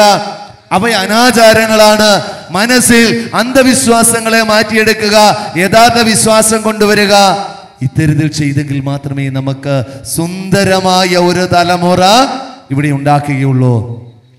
നമുക്കറിയാം തീർത്ഥാടനത്തിന് അരുൾ ചെയ്ത ശ്രീനാരായണ ഗുരുദേവൻ അവിടെ എന്താ പറഞ്ഞത്? ശിവഗിരിയിൽ എത്തിച്ചേർന്ന് ആ മഞ്ഞ വസ്ത്രവും ധരിച്ച് ആർഭാടം കാണിച്ച് പണവും ചെലവാക്കി കുളിയും ദേവാരവും കഴിഞ്ഞു പോയാൽ എന്ത് കിട്ടുമെന്നൊരു ചോദ്യമാ ചോദിച്ചതില്ലേ? നമ്മൾ പോയാലോ? അയ്യോ നമുക്ക് ആ ഇച്ചിരി പൊട്ട് മേടിക്കണം ഇച്ചിരി വള മേടിക്കണം ഇല്ലേ? പോകുന്ന വഴി കന്യാകുമാരി പോയി ഒന്ന് കുളിക്കണം. ഇതിനാണ് നമ്മൾ പോകുന്നത്. പറ്റുന്നെങ്കിൽ തിരിച്ചു വരുമ്പോൾ കോവളത്തൂടെ കയറാവോന്ന് നോക്കിയിട്ടാണ് നമ്മൾ പോകുന്നത്. ഇതാണ് നമ്മുടെ തീർത്ഥാടനം. അതിന് തീർത്ഥാടനം എന്നല്ല പറയുന്നത്. എന്നതാ? ആ ടൂറാ അതില്ലേ? അപ്പൊ നമ്മൾ ടൂറ് പോവാന്ന് പറഞ്ഞാൽ മതി കേട്ടോ. ആഘോഷത്തോടെയാ പോകുന്നത്. തീർത്ഥാടനം അതല്ല. തീർത്ഥാടനം എന്നത് ഇന്ദ്രിയാനുഭൂതികളെ ജയിക്കുവാനുള്ള യാത്രയാണ് തീർത്ഥാടനം. കേട്ടോ? ഇന്ദ്രിയാനുഭൂതികളെ ജയിക്കുവാനുള്ള യാത്രയാണ് തീർത്ഥാടനം. ഘോഷയാത്രക്കകത്താ കിടന്ന് തുള്ളേണ്ടത് കേട്ടോ? അവിടെ നിങ്ങൾ തുള്ളിക്കോ? ഉത്സവം നടക്കുമ്പോൾ നന്നായിട്ട് അങ്ങ് തുള്ള തുള്ളി തുള്ളി അങ്ങ് മേളി ചെന്ന് ഇച്ചിരി കഴിയുമ്പോൾ ദേ കിടക്കുന്നു താഴെ. ആ തീർന്നു ശാന്തിയായി സമാധാനമായില്ലേ? തുള്ളാതവൻ അങ്ങ് തുള്ളി തീരട്ടെ അതിനുവേണ്ടിയാണ് ആ ഈ ആഘോഷങ്ങൾ. പക്ഷേ തീർത്ഥയാത്ര അതല്ല. ഗുരു എന്താ പറഞ്ഞത്? നിങ്ങൾ പണവും ചെലവഴിച്ച് ശിവഗിരിയിലെത്തി അവിടെ വരുമ്പോൾ പ്രഗത്ഭരായവരെ കൊണ്ട് പ്രസംഗിപ്പിക്കണം. അല്ലേ? അതോ അവിടുന്ന് വന്ന് പായസവും കുടിച്ചോണ്ട് പോരാനാണോ പറഞ്ഞത്? പായസമല്ല പ്രസാദം. ക്ഷേത്രങ്ങളിൽ നിന്ന് കിട്ടുന്ന പായസവും അവിയലും സാമ്പാറും അല്ല പ്രസാദം. ക്ഷേത്രങ്ങളിൽ വരുമ്പോൾ ക്ഷയാത്രയതേ ഇത് ക്ഷേത്രക എന്ന് പറയുന്നെങ്കിൽ അവിടെ വിശേഷേണ ഗ്രഹിക്കുവാനാണ് എത്തിച്ചേരേണ്ടത് അറിയുവാനാണ് എത്തിച്ചേരേണ്ടത്. അപ്പോൾ മഹാഗുരു പറഞ്ഞു ശിവഗിരിയിൽ നിങ്ങൾ എത്തിച്ചേരുമ്പോൾ പ്രഗത്ഭരായവരെ കൊണ്ട് പ്രസംഗിപ്പിക്കണം. അതെന്താ പ്രസംഗിപ്പിക്കേണ്ടത്? എട്ട് വിഷയങ്ങളെ കുറിച്ച് പകർന്നു നൽകി. അല്ലേ? രാമനാമം ജപിച്ചുകൊണ്ടിരിക്കാനാണോ പറഞ്ഞത്? അല്ല. എന്താ പറഞ്ഞത്? ആദ്യം പറഞ്ഞു നിങ്ങൾക്ക് വേണ്ടത് എന്താ വിദ്യാഭ്യാസം. അപ്പൊ കുറവ് എന്താന്ന് മഹാഗുരുവിന് മനസ്സിലായില്ലേ? നമ്മൾ എന്തുകൊണ്ടാണ് മുന്നിൽ കസേരയിട്ടിട്ട് പുറകെ പോയിരുന്നത്? അറിവ് കൂടുതലുള്ളത് കൊണ്ടല്ല അറിവ് കുറവാണ് ഇന്നലെ പറഞ്ഞ പോലെ നമസ്തേ പറഞ്ഞപ്പോൾ തിരിച്ചു പറയാത്ത എന്തുകൊണ്ടാ? ആ നമ്മൾ ഓർത്തു ആ പുള്ളി വലിയ പുള്ളി ആയതുകൊണ്ടാണ് അല്ല ബോധമില്ലാഞ്ഞിട്ടാ. ഇല്ല ഇന്നലെ നമ്മൾ അങ്ങനെയല്ലേ പറഞ്ഞത്. കാരണം എന്താ? തത്വം അസി എന്നും അഹം ബ്രഹ്മാസി എന്നും ആ കാണപ്പെടുന്നതൊക്കെയും സ്ഥൂലം സൂക്ഷ്മം കാരണം എന്നീ മൂന്ന് രൂപങ്ങളോട് കൂടിയതും പരമാത്മാവിൽ നിന്നുണ്ടായി അതിൽ തന്നെ ലയിക്കുന്നതുമാകുന്നു. അതിനാൽ പരമാത്മാവല്ലാതെ വേറൊന്നുമില്ല എന്ന ബോധമുള്ളവർ ഞാനും നീയുമില്ല ഞാനുമില്ല നീയുമില്ല അത് രണ്ടല്ല ഒന്നാണെന്ന ബോധമുള്ളവരാണ്. നമസ്തേ പറയുന്നത്. അതറിയുന്നവർ തിരിച്ചു പറയും. അതറിയാത്തവരോ? എന്നാൽ ഇലാമേ എന്ന് ചോദിക്കുമെന്ന് നമ്മൾ ഇന്നലെ പറഞ്ഞായിരുന്നു ഇല്ലേ? ഇത് തന്നെയാണ് ഗുരു പറഞ്ഞത്. നമുക്ക് വിദ്യാഭ്യാസത്തിന്റെ ആവശ്യമുണ്ട്. അതുകൊണ്ട് അവിടെ എത്തിച്ചേരുന്നവർ ആദ്യം എന്ത് പഠിക്കണം? വിദ്യാഭ്യാസത്തെ കുറിച്ച് ബോധവാന്മാരാകണം. രണ്ട് നമ്മൾ പിന്നെ അകന്നിരിക്കാൻ ഒരു കാര്യമുണ്ട്. എന്താ? അടുത്തിരുന്ന നാറും. എങ്കിൽ പിന്നെ അകന്നിരുന്നേക്കാം. അല്ലേ? ശരിയല്ലേ? നമ്മളെ വീട്ടിൽ കയറ്റത്തില്ലായിരുന്നു. കുളിക്കത്തുമില്ല നനയ്ക്കത്തുമില്ല പല്ലും തേക്കത്തില്ല. ഗുരു പടിഞ്ഞാറൻ മേഖലയിൽ ആനന്ദാശ്രമം തുടങ്ങി പടിഞ്ഞാറൻ മേഖലകളിൽ വന്ന സത്യവ്രത സ്വാമികളെ കൊണ്ട് അവിടെ എന്താ കുളി സംഘങ്ങൾ രൂപീകരിപ്പിച്ചു. എന്താ? ആ നനച്ചു കുളിച്ച് വൃത്തിയായിട്ട് വന്നാൽ നമ്മളെ കയറ്റി ഇരുത്തില്ലേ ഒരു വീട്ടിലേക്ക് കയറി ചെല്ലുമ്പോൾ കീറിയ കൈലി കൊടുത്ത് ഒരു ആ ചീഞ്ഞ തോർത്ത് എടുത്ത് തോളത്തിട്ടുകൊണ്ട് പോയാൽ വീട്ടിൽ കയറ്റി ഇരുത്തുവോ. നല്ല വേഷം ധരിച്ചുകൊണ്ട് പോയാൽ ആരാ? ആ കയറി ഇരിക്കാൻ പറയില്ല? നമ്മളോർക്കും വലിയ ആ വലിയ പുള്ളികളാണെന്നല്ലേ അപ്പൊ എന്താ? ശുചിത്വം വേണം. എന്തേ അപ്പൊ വിദ്യാഭ്യാസം ശുചിത്വം മൂന്നാമതാണ് എന്ത് പറഞ്ഞത്?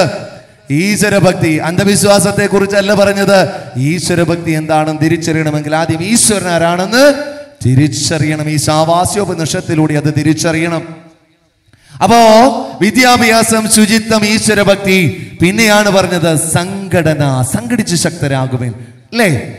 സംഘടന. പിന്നെയോ? ആ. സംഘടന കൃഷി. കൃഷിയാണ് ജീവരാശിയുടെ നട്ടൽ ഇപ്പൊ ചൂടാന്ന് പറയുന്ന ചിലർ ഈ അതൊരു ചൂടായില്ലേ? ആ മരത്തിന്റെ ചുവട്ടിലിരിക്കുമ്പോൾ ഒരു ചൂട് കുറവില്ലേ? മരം നട്ടു വളർത്തുക തണലുമായി പഴവുമായി. ഇല്ലേ? ഒന്ന് ഓർത്ത് നോക്കിയേ ഇത്ര അർത്ഥവത്താണില്ലേ? അപ്പോ സംഘടന കൃഷി മൂന്ന് കച്ചവടം. ഇല്ലേ? കച്ചവടം. നമുക്ക് വ്യവസായം വേണം കച്ചവടം വേണം. സാമ്പത്തികമായ പുരോഗതി നമുക്ക് ആവശ്യമാണ്. കച്ചവടം. പിന്നെയോ കൈത്തൊഴിൽ അമ്മമാരൊക്കെ ചുമ്മാ അടുക്കളയിൽ ഇപ്പൊ ഇവിടെ ഇരുന്ന് ചിന്തിക്കുന്നത് ദൈവമേ അരി ഉഴുന്നും വെള്ളത്തിലിടാ പോകുന്നത്. രാവിലെ അങ്ങനെ ഇഡലി ഉണ്ടാക്കുന്നത്? ഇത് മാത്രം ചിന്തിച്ചാ പോരാ. പോകുന്ന വഴിക്ക് ഒരു സാമ്പാർ കിറ്റ് മേടിച്ചോണ്ട് പോയാൽ രാവിലെ സാമ്പാർ ഉണ്ടാക്കാമെന്ന് മാത്രം ചിന്തിച്ചാ പോരാ. ഇല്ലേ? സ്വയം തൊഴിൽ. ഇല്ലേ? കൈത്തൊഴിൽ. ഇതുമായി ബന്ധപ്പെട്ടാണ് മൈക്രോ ഫിനാൻസ് എന്ന പദ്ധതി. ശ്രീനാരായണ അല്ലേ നമ്മുടെ എസ് ഡി പി യോഗത്തിന്റെ ജനറൽ സെക്രട്ടറി അതമ്യ വെള്ളാപ്പള്ളി നടേശൻ അവർകൾ തുടങ്ങി വെച്ചത് ആയിരക്കണക്കിന് ലക്ഷക്കണക്കിന് സ്ത്രീകൾക്ക് കൈത്തൊഴിലായി രംഗത്തേക്ക് വരാൻ. അത് കൂട്ടിച്ചോറാക്കിയത് ചില യൂണിയൻകാരാ. അല്ലാതെ പാവപ്പിടിച്ച അമ്മമാരോ സഹോദരിമാരോ അല്ല. ശരിയല്ലേ? യോഗം ജനറൽ സെക്രട്ടറി അല്ലേ? ഇതിന്റെ ഇടയ്ക്ക് നിന്ന് കളിച്ച കുറേ ആളുകളാണ്. അപ്പോൾ സംഘടന കൃഷി കച്ചവടം കൈത്തൊഴിൽ അവസാനം പറഞ്ഞതാണ് എന്ത്? ശാസ്ത്ര സാങ്കേതിക ആ വിദ്യ. അതേണ്ട അവരിതാ ഇപ്പൊ ഈ കാണിച്ചുകൊണ്ടിരിക്കുന്ന ശാസ്ത്ര സാങ്കേതിക വിദ്യ. കാര്യം എന്താ? ഇപ്പൊ ഗുരുവിന്റെ ദർശനം പിള്ളേർക്ക് ഇവിടെ വന്ന് ഇവിടെ വന്ന് കുത്തിയിരിക്കാൻ നേരമില്ല. അവർ വാട്സാപ്പ് വഴിയും ഫേസ്ബുക്ക് വഴിയൊക്കെ ഗുരുപദം ടി വി ഇങ്ങനെ ലോകം മുഴുവൻ ഗുരുദർശനം അരുൾ ചെയ്തുകൊണ്ടിരിക്കുക അല്ലേ? അപ്പോ ശ്രീനാരായണ ദർശനം എന്താണെന്ന് അറിയിക്കുവാൻ വേണ്ടി ഗുരു പറഞ്ഞ മാർഗമാണ് സാങ്കേതിക വിദ്യയുടെ പരിജ്ഞാനം അല്ലേ?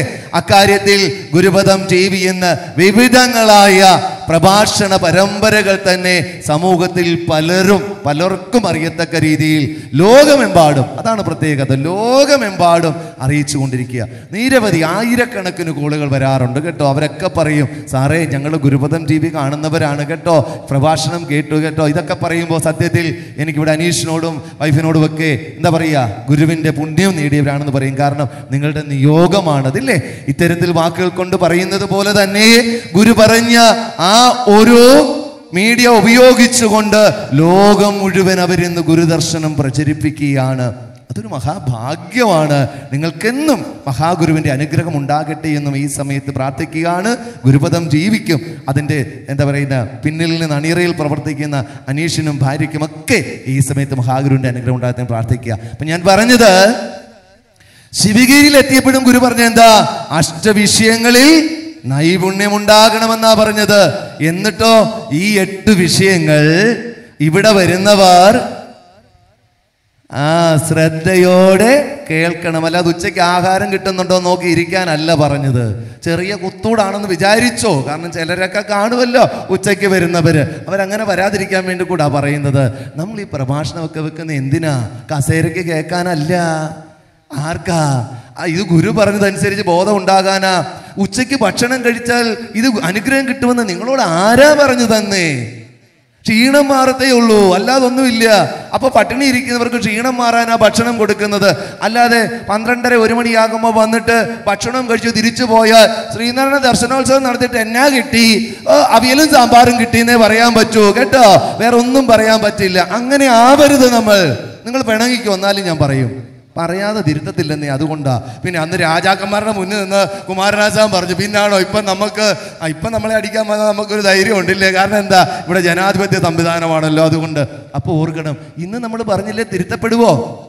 അടുത്ത പ്രാവശ്യം വരുമ്പോൾ അങ്ങേര് വല്ലതും വിളിച്ച് പറഞ്ഞാലോ എന്ന് വിചാരിച്ചെങ്കിലും വന്നോട്ടെ.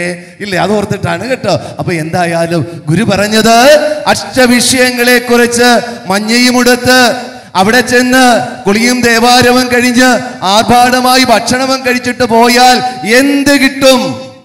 ശ്രീധരണ ഗുരു ചോദിച്ചതാ. ആ ചോദ്യമായിരുന്നു നിങ്ങളോട് ചോദിച്ചത്. ഇവിടെ വന്നിട്ട് പെരിങ്ങാല സാഹിൽ ദർശനോത്സവമാണ്. കുളിച്ച് സുന്ദരിയും സുന്ദരനുമായി ഉച്ചയ്ക്ക് പന്ത്രണ്ടരയ്ക്ക് ചെന്ന് ആഹാരം കഴിച്ചിട്ട് പോന്നാൽ എന്ത് കിട്ടും? ഒന്നും കിട്ടത്തില്ല. മറിച്ച് ആ പ്രഗത്ഭരായരെ വിളിച്ച് പ്രഭാഷണം നടത്തിക്കണം അഷ്ടവിഷയത്തിൽ. അത് ശ്രദ്ധയോടെ കേൾക്കണം. എന്നിട്ട് അത് നിങ്ങൾ നിങ്ങളുടെ വ്യക്തി ജീവിതത്തിൽ പ്രാവർത്തികമാക്കണം. അപ്പോൾ കുടുംബവും രാജ്യവും അഭിവൃദ്ധി പ്രാപിക്കും. ഇതായിരുന്നു ശ്രീനാരായണ ഗുരുദേവന്റെ വചനം. ഇത്തരത്തിൽ ഗുരുവിന്റെ വചനങ്ങളെ അന്വർത്ഥമാക്കുന്ന തരത്തിൽ അറിഞ്ഞ് സമൂഹത്തിൽ പ്രവർത്തിച്ച സംഘടനയുടെ നേതാവായിരുന്നു ആര്? കുമാരനാശാൻ മനസ്സിലാക്കണം അല്ലാതെ കവി കവി കവി എന്ന് പാട്ടും പാടി നടന്നാൽ പോരാ. ചിലർക്ക് ശൃംഗാര കാവ്യം ഇഷ്ടം അതെടുത്തിട്ട് അങ്ങ് പാടും. ചിലർക്ക് ചണ്ടാല ഭിക്ഷക ഇഷ്ടം അതെടുത്തിട്ട് അങ്ങ് പാടും. പക്ഷേ അതിന്റെ സത്ത എന്താണെന്ന് പലരും തിരിച്ചറിയുന്നില്ല. സ്നേഹമുള്ളവരെ ഇന്ന് ഈ കൺവെൻഷൻ വേദിയിൽ എത്തിച്ചേർന്ന് മഹാകവി കുമാരനാശനെ ഒന്ന് ഓർക്കാനുള്ള അവസരം മാത്രമേ ഞാൻ നിങ്ങൾക്ക് തന്നുള്ളൂ. മഹാകവിയെ നിങ്ങൾ ഓർക്കണം. ജന്മം കൊണ്ട് തന്റെ ജീവിത കണ്ടത്തിൽ ഗൃഹസ്ഥ ജീവിതത്തിലേക്ക് കടന്നു എങ്കിലും മഹാഗുരുവിന്റെ വചനങ്ങളെ ഉൾക്കൊണ്ടുകൊണ്ട് മഹാഗുരുവിന്റെ ആശയങ്ങളെ ഈ സമൂഹത്തിനു വേണ്ടി നന്മയിലേക്ക് ദുരവസ്ഥകളിൽ നിന്ന് നന്മയിലേക്ക് മോചിപ്പിക്കുവാൻ ധാർമ്മിക ബോധം പകർന്നു നൽകുവാനും കർമ്മകാണ്ഡത്തിൽ ധീരതയോടെ പ്രവർത്തിക്കുവാനും മുന്നിൽ നിന്ന് ശക്തനായ സാരഥിയായിരുന്നു ആര്? മഹാകവി കുമാരനാശാൻ ആ മഹാകവി കുമാരനാശാനെ നെഞ്ചിലേറ്റാതെ ഒരുപക്ഷേ നമുക്ക് ഗുരുവിനെ അറിയാൻ സാധിക്കില്ല. അതുകൊണ്ടാണ് നിങ്ങൾ ചെല്ലുന്ന ദീപാർപ്പണം അത് തുടക്കം കുറിക്കുന്നത് മഹാകവി കുമാരനാശാന്റെ ഓർമ്മകളെ സ്മരിച്ചുകൊണ്ട്. ഇനിയിപ്പം നിങ്ങൾ എന്തായാലും ദൈവ ഈ പറഞ്ഞ ദീപാർപ്പണം ചെല്ലുമ്പോൾ ഓർക്കുമല്ലോ അയ്യോ ഇത് കുമാരനാശാന്റെ ആണല്ലോ എന്ന് ഓർക്കത്തില്ലേ? ഗുരുസ്തവം ചെല്ലുമ്പോൾ ഓർക്കത്തില്ല അയ്യോ ഇത് കുമാരനാശാന്റെ ആണോ അപ്പോൾ ഗുരുവിനെ അറിയുമ്പോഴൊക്കെ നാം ആരെയും അറിയും? കുമാരനാശാനെയും സ്മരിക്കും. ശരിയല്ലേ? ഈ ഒരു തരത്തിൽ നമുക്ക് ചേർത്ത് കൊണ്ടുപോകണം. കാരണം നമ്മളിതൊക്കെ ജീവിച്ചു മരിക്കുമ്പോൾ ഞാനൊക്കെ മരിച്ചു പോവും. നിങ്ങളൊക്കെ ജീവിച്ചിരിക്കുമായിരിക്കും. ഞാൻ എപ്പോഴാണെന്ന് അറിയത്തില്ല കാരണം ആ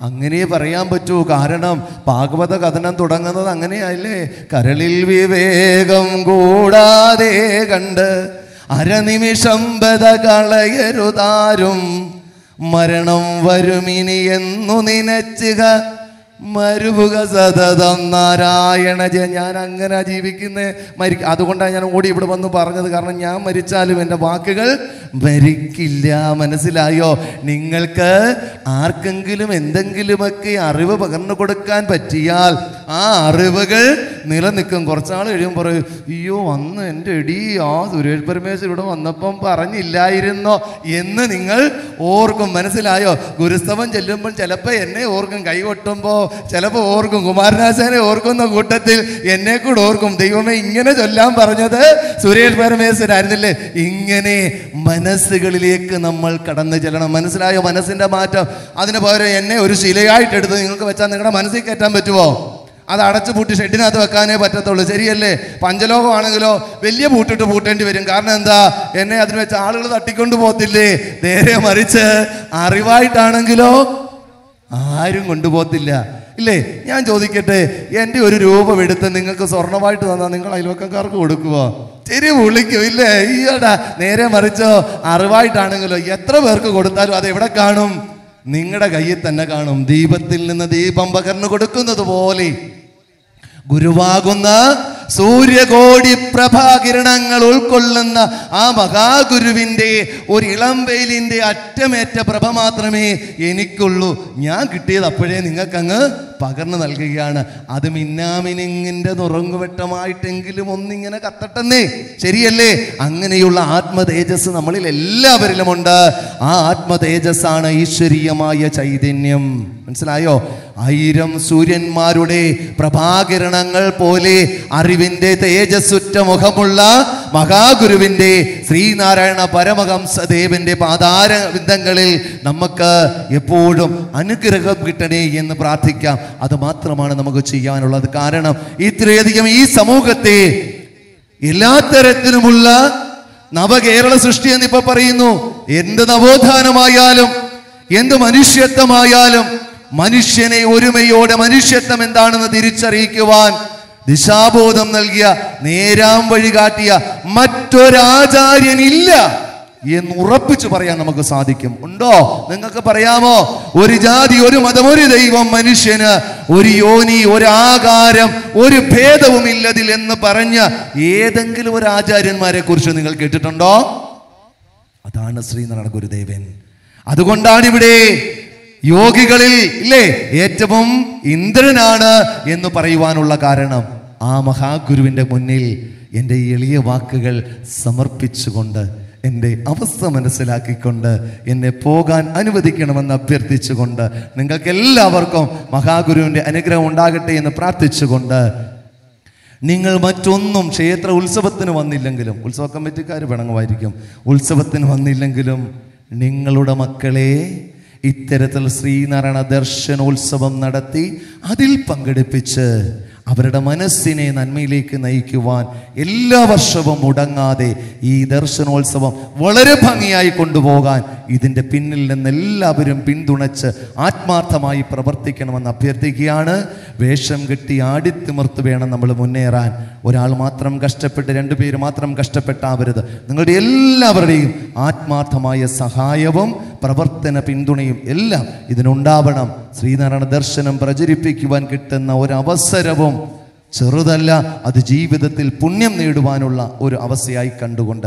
മഹാഗുരുവിന്റെ അനുഗ്രഹത്തിന് സാക്ഷാൽ പരബ്രഹ്മ സ്വരൂപന്റെ അനുഗ്രഹത്തിന് നിങ്ങളെല്ലാവരും പ്രാത്രീഭൂതരാകട്ടെ എന്ന് പ്രാർത്ഥിച്ചുകൊണ്ട് എന്നെ ഇവിടെ ക്ഷണിച്ച ഭാരവാഹികൾക്കും അതോടൊപ്പം തന്നെ എന്നെ ശ്രവിച്ച നിങ്ങൾക്ക് എല്ലാവർക്കും എന്നെ പകർത്തി ഇന്നും സമൂഹത്തിൽ അറിയിക്കുന്ന നമ്മുടെ ഗുരുവിതം ടി വിക്ക് ഉൾപ്പെടെ എല്ലാവർക്കും ഹൃദയത്തിന്റെ ഭാഷയിൽ നന്ദി പറഞ്ഞുകൊണ്ട് എന്റെ വാക്കുകൾ ഗുരുവിൽ സമർപ്പിക്കുന്നു. നന്ദി നമസ്കാരം. ഗുരുധർമ്മം വിജയിക്കട്ടെ. ഓം പൂർണമത് പൂർണമിതം പൂർണാത് പൂർണമുദച്യതേ പൂർണസ്യ പൂർണമാദായ പൂർണമേവാവശിഷ്യതേ ॐ शान्ति शान्ति शान्तिः। ॐ तत्सत्श्रीनारायणगुरु अर्पणमस्तु। ॐ नमस्ते।